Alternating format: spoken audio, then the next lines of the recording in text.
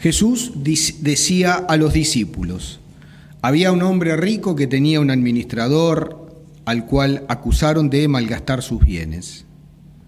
Lo llamó y le dijo, ¿qué es lo que me han contado de ti? Dame cuenta de tu administración porque ya no ocuparás más ese puesto. El administrador pensó entonces, ¿qué voy a hacer ahora que mi señor me quita el cargo? Cavar no tengo fuerzas. Pedir limosna me da vergüenza. Ya sé lo que voy a hacer, para que al dejar el puesto haya quienes me reciban en su casa. Llamó uno por uno a los deudores de su señor y preguntó al primero, ¿cuánto debes a mi señor? Veinte barriles de aceite, le respondió. El administrador le dijo, toma tu recibo, siéntate enseguida y anota diez. Después preguntó a otro, ¿y tú cuánto debes? Cuatrocientos quintales de trigo. Le respondió. El administrador le dijo, toma tu recibo y anota trescientos.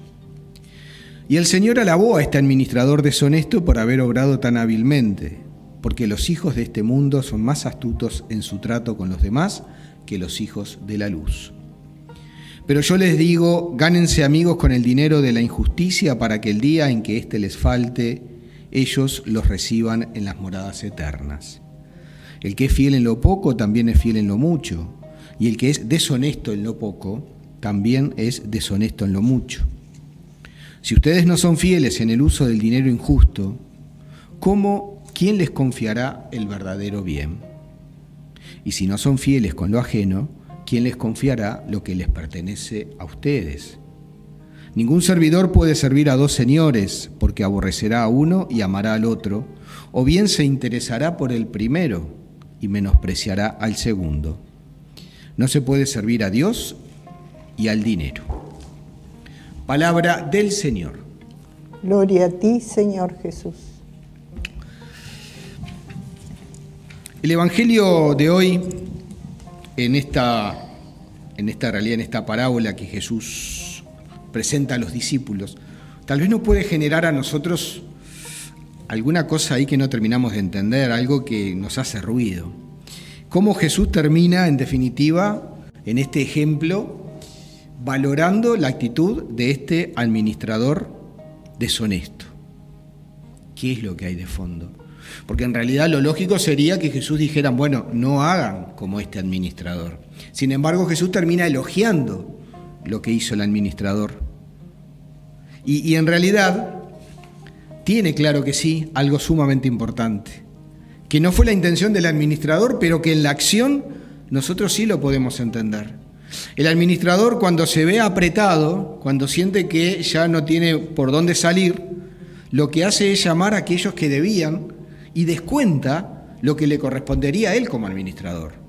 Por eso le dice, anota menos, vas a pagar menos. Es decir, él está renunciando a lo que materialmente le correspondería para poder saldar la deuda de los deudores de su patrón. Entonces, ¿qué, ¿qué, es lo que está de fondo acá? Que si bien la intención del administrador no era esa, pero siempre es bueno rechazar todo aquello que no nos deja ganar amigos, todo aquello que no nos permite crecer en humanidad, todo aquello que nos lleva a alejarnos y a perder el relacionamiento con los demás. El administrador aquí ganó amigos. ¿Por qué? Porque renunció a los bienes materiales. Pudo más, si se quiere, la amistad, aunque en este caso hay un interés, que los bienes materiales. Y acá creo que está la enseñanza o parte de la enseñanza de este Evangelio. Nosotros, ¿qué ponemos en primer lugar lo material, las cosas pasajeras, la importancia, no sé, en los títulos, en el reconocimiento, o la persona, o los demás, o la comunidad. Porque ahí sí está la enseñanza de Jesús. Lo más importante es el hermano, es el otro.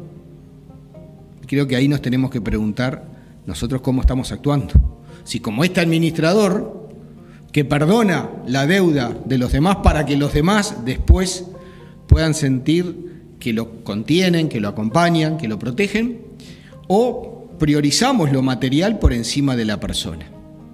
Es una buena reflexión que nos invita el Evangelio de hoy, entre tanto, a meditar y a descubrir si Dios es el verdadero Dios ¿O para nosotros Dios es el dinero, es el trabajo, es el hacer, son las cosas, son las corridas?